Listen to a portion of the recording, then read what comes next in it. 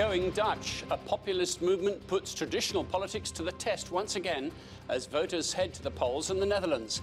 We'll ask why people are abandoning traditional parties and what the result could mean for nervous European neighbours. I'm Martin Stanford. This is Insight.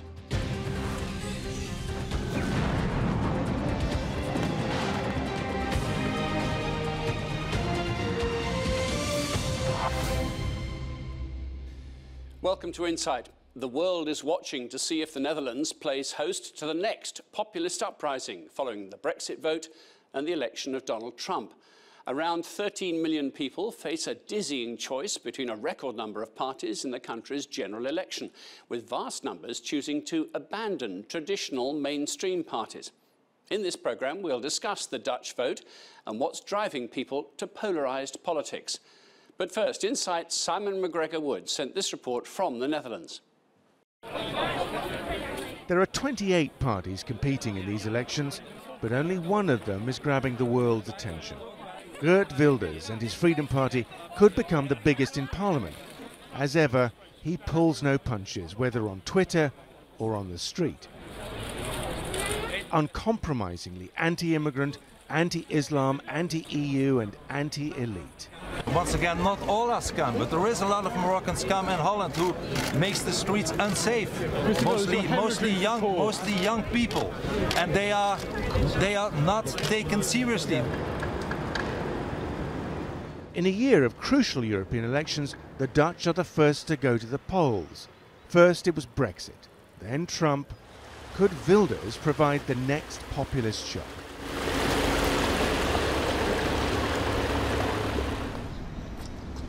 Alexandra Lammers and Ronald Mullendik are Wilders voters through and through. They live in IJburg, a new suburb of Amsterdam. The neighbourhood has 50% social housing. The majority are immigrants, Moroccans, Turks, and others. Alexandra and Ronald say they've had enough and claim they're not alone. What do you say to the critics, the usual criticisms? If he's racist. a racist and if this is racism, then I'm proud to be a racist. He's not a racing, he's addressing problems with Moroccans, and Moroccans are not a race, so he's not a racist. Wilders has done well in the polls before, but his vote usually falls short in elections. Now that may not happen this time, which would make him far more difficult to ignore. But for some, he has already succeeded. The guy's not interested in really governing and taking responsibility at all. What he's interested in is letting mainstream right-wing parties, the Christian Democrats and the Liberals, talk about his issues and taking on board his policies, because they will be implemented. He won't have the responsibility and it will happen anyway. He's already won the elections. On Monday night, he went head to head with Prime Minister Mark Rutte on national television.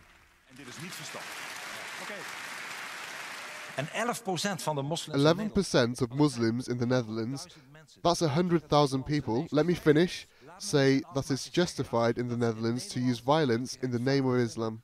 If you're not willing to see that, you're a danger. For Mark Rutte, Wilders is the main challenge, and on Monday warned Dutch voters against complacency. Remember the Brexit. We all thought that would never happen. Remember the US elections. So let's not make that mistake again. These elections are crucial. Let us stop the domino effect. Right here, this week, this Wednesday. The domino effect of the wrong sort of populism winning in this world. For some, the Wilders effect explains his tough stance in the diplomatic crisis with Turkey, fearing compromise might lose votes. Whatever happens, he, like other party leaders, says he will not form a coalition government with Wilders. That may be more easily said than done.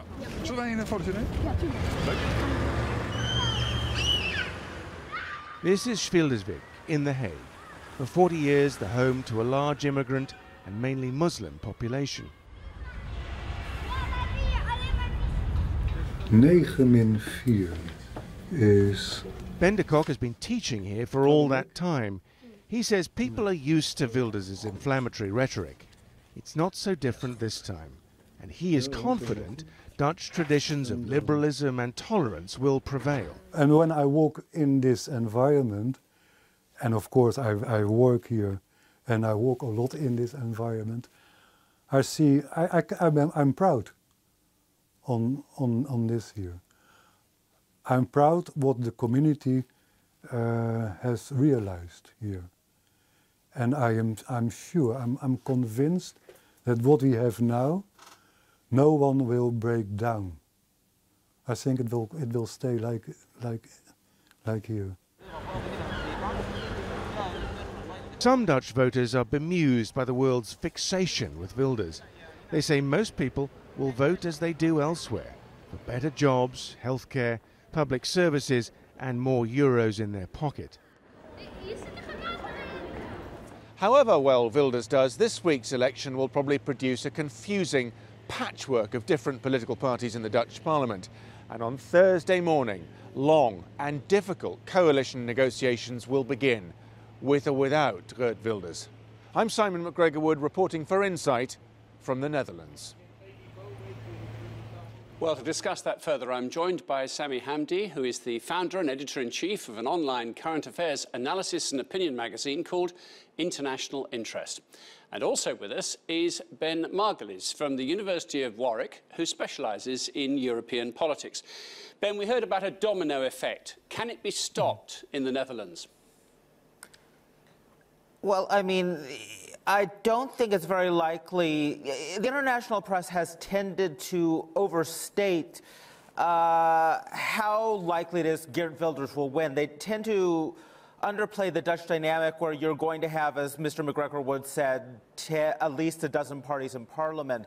So it, it's not the same thing as winning a single issue referendum or winning a presidential election. The fact is that Wilders may win 10, 15% of the vote, uh, 20 at the outside, but he's not going to, uh, claims that he's going to become prime minister are probably overstated. I think uh, the gentleman your journalist interviewed was quite correct in saying that his real impact has been affecting what issues are discussed, and it's not that likely that he's going to win power. So if there is a domino effect, it's not so much that the Dutch will stop it, it's that it's actually not really relevant there. The next domino, if any, would probably be France.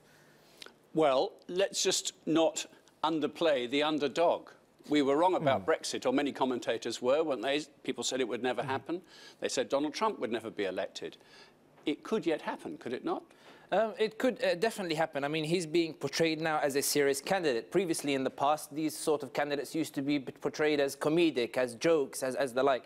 This time, it seems, he's head-to-head -head with the Prime Minister on national TV having a debate. I mean, mm. to the people, he's now looking like he's on a par with the Prime Minister. Also, when you look at the Trump effect, Trump in the US, when he set the agenda, all of the other candidates are responding to what Trump said, what Trump did, what Trump was going to talk about, and the like, until it became such that Trump was the main man on the political scene. Now, the problem with, uh, with Geert Wilders is not necessarily the fact whether he wins or not, but the fact of the matter is he has really exacerbated social tensions within Dutch society. And no matter how much we reiterate about liberal values and tolerance, if you say something enough times, it eventually becomes the truth. If he's saying 11% of Muslims believe that this violence should be used to spread their cause, you say it once, you say it twice, you say it three times until the Dutch population say, maybe that's true, I should go check this out. So all of a sudden, that's altered the social dynamic between the Muslim community and between well, the Dutch. It's also the political discourse, isn't it? Because it means his opponents have to respond. They have to have an answer to that. They I have to deny it. They have to refute it. I think the biggest example of that, or the biggest proof of that, is the way the Prime Minister took such a strong stance against uh, Turkey with regards to ban the foreign minister from uh, landing and the like. That's not typically the Prime Minister's style. I mean, that's more as if this is a last-ditch attempt that I might not get the result I want. So let me at least try to poach some populist votes from Geert Wilders by appearing strong. The fact of the matter is, however way you look at it, he ceded ground to Geert Wilders by acknowledging this particular crisis. Of course, that's suggesting that the alternative is to ignore it, which you can't ignore it. The fact of the matter is, the way the global order is now, you cannot ignore such issues anymore.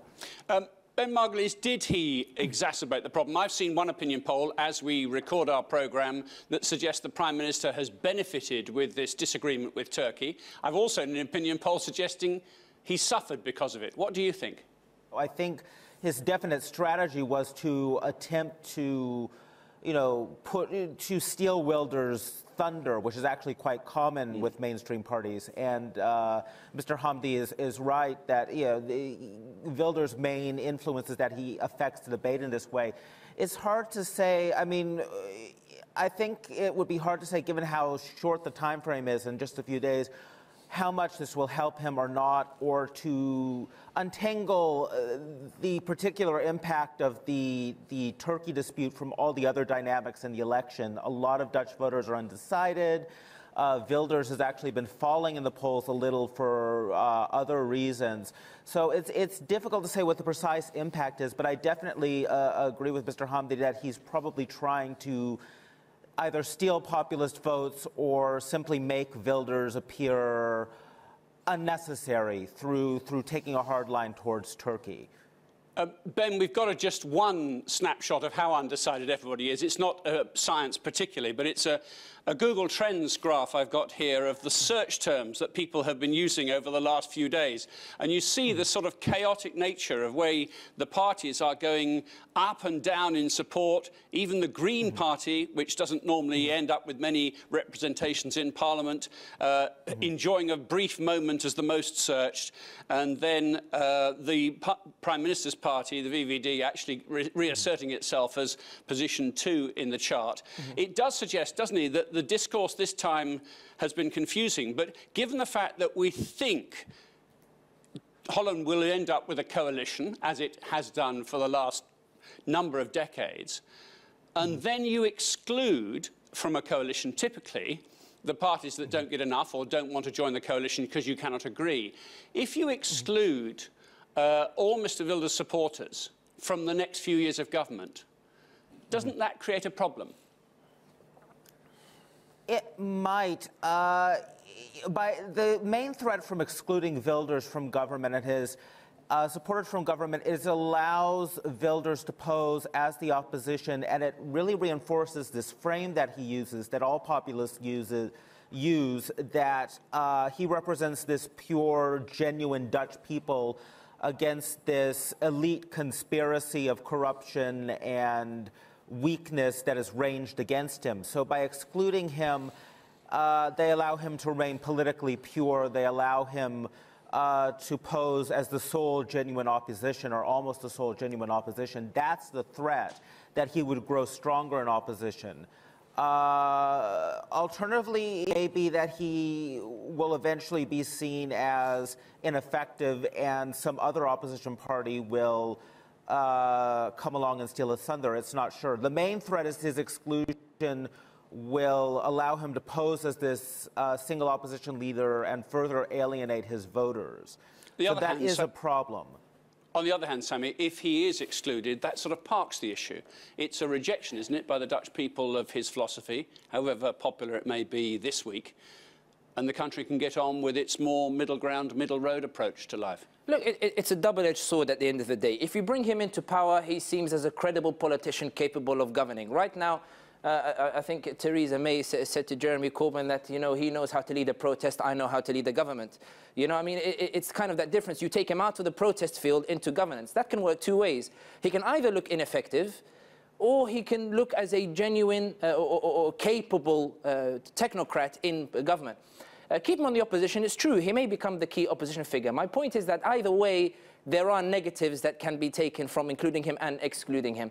But I think the key issue is we are going from the, uh, from the basis that Geert Wilders is the representative of these people. We're not looking at the dynamics that have created the situation in the first place, which is that you have a government that talks about economic growth and you know these numbers and GDP, but the real economy is that people are still suffering. Now, if you solve those problems, Geert Wilders' rhetoric suddenly becomes redundant because people suddenly are better off and they say, okay, Geert Wilders, you may have a point on the immigrants, but my life is a bit comfortable. I'm not ready to give that up, so I'm going to vote for that party. So I think... Let's examine that and some of the other aspects of this election, some of the big themes, when we continue our conversation.